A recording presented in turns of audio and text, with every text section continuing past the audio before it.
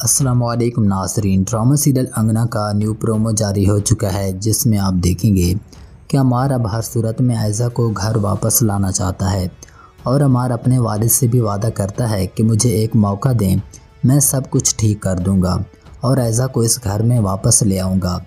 जिसके बाद अब देखेंगे कि अमार ऐज़ा के पास जाता है और उससे माफ़ी माँगता है और कहता है कि मैं अपनी पहली बीवी को तलाक दे चुका हूँ।